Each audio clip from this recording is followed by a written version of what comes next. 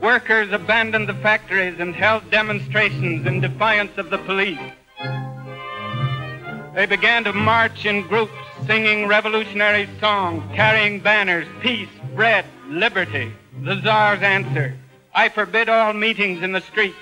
I warn the people that the soldiers have been instructed to use their rifles to restore order in the capital. The crowds increased. The street meetings continued. And for the first time in history, the Tsar's soldiers failed him. Instead of using their rifles to restore order, they completed the disorder by joining the people in the streets.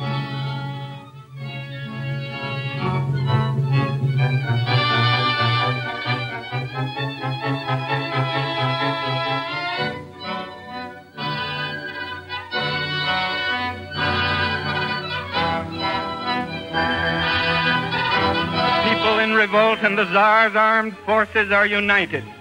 The autocracy is doomed.